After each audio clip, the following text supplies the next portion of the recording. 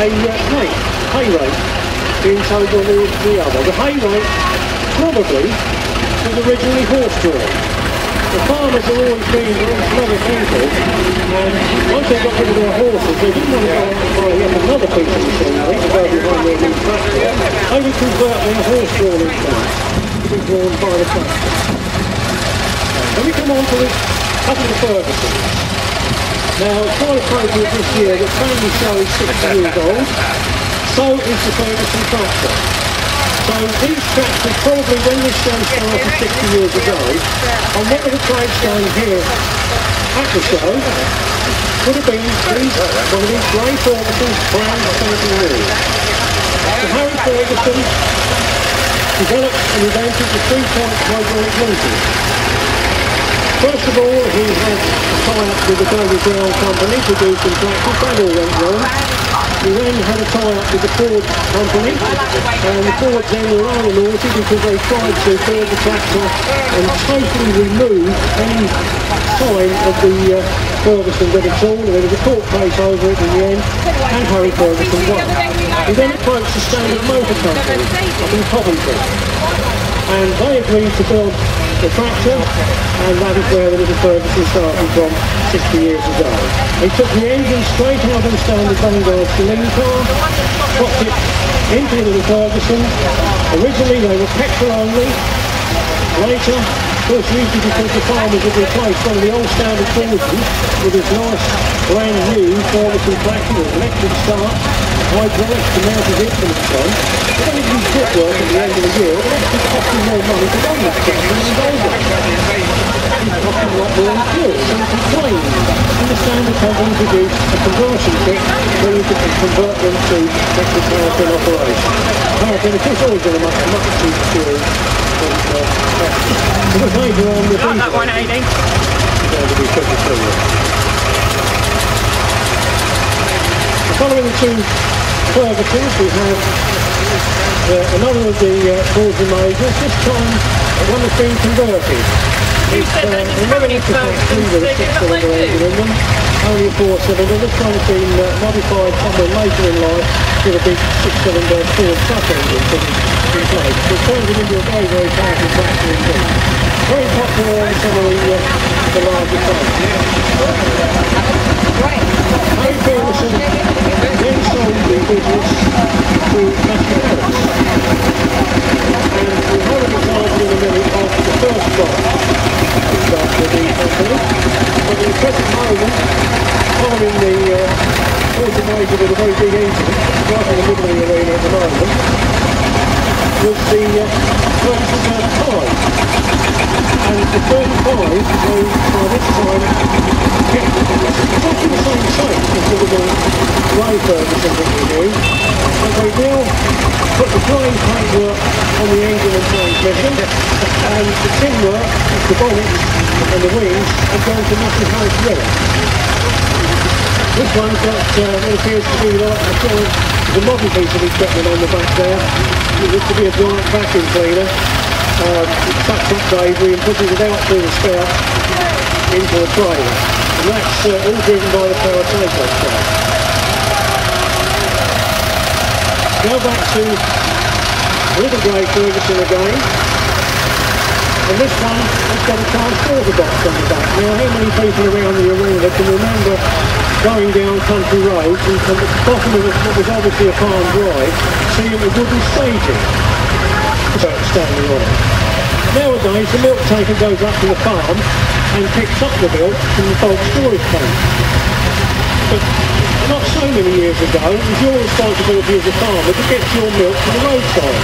And you were given churns to put it in. And this is exactly what this uh, into the transporter box is used for. Also you can take food out into the field.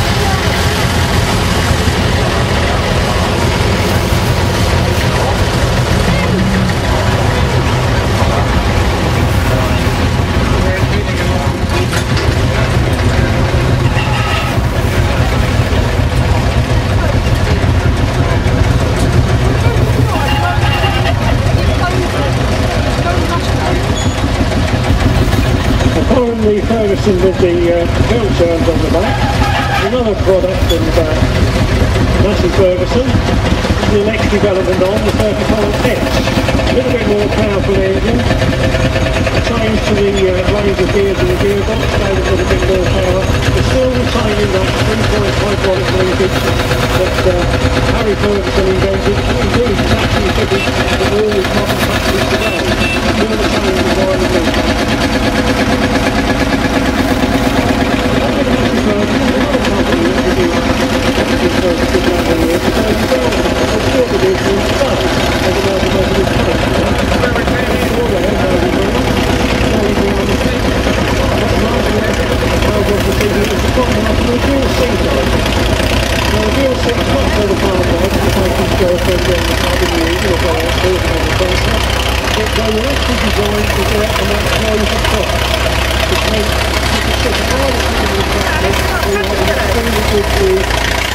Another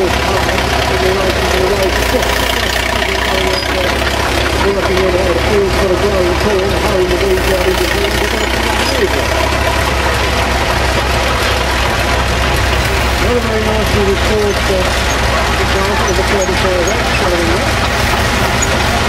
So we've got some things in there. We've got a bit of a one of those now. Now I've got to work on the actual going a little bit more through. 35 X, the whole 35 ways is kind of over it. And uh, many of these indeed were grown for us, and it's still working today uh, up to Scotland and up to Wales, they're still up there working every day for their living.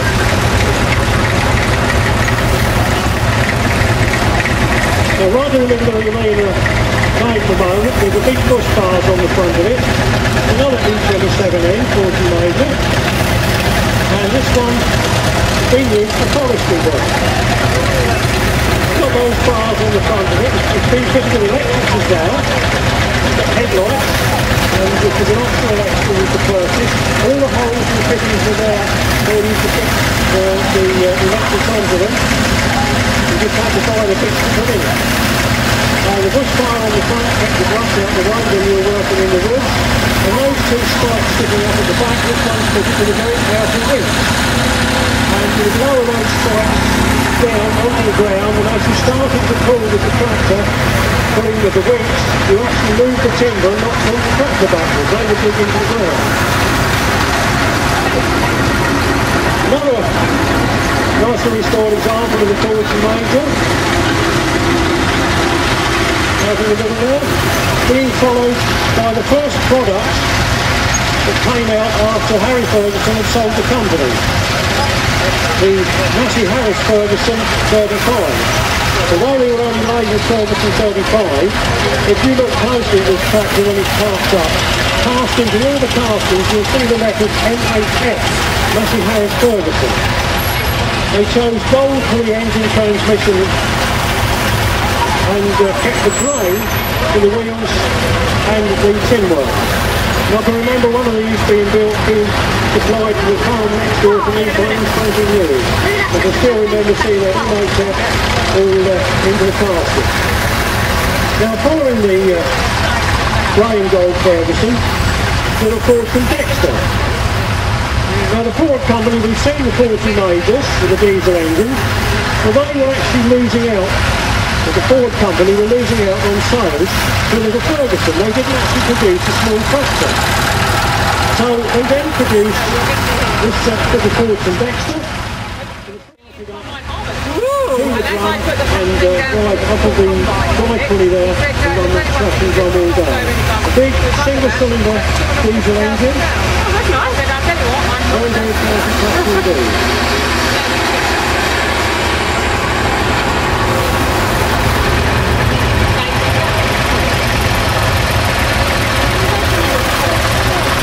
the field marshals is coming along the uh, under an imaging closure at the moment. The engine's got a bit further back now, so it's beginning to make sense. You'll know which tractor I'm talking about, I hope, it's getting nearer the commentary box. And this is one of the, uh, the Fordson major diesels. And again, this one is fitted with a, winch. On the back there, again behind the driver, you can see those two points sticking up in the air. This is the winch anchor drops down, digs into the ground. As I said earlier, stops you, uh, the tractor going backwards as you actually move what you're trying to pull.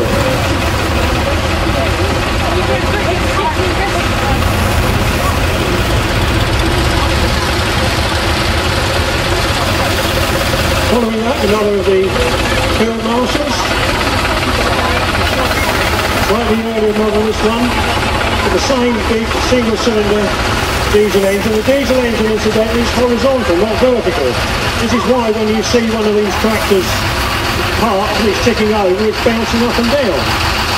Mind you, so does the driver bounce up and down when you're on it.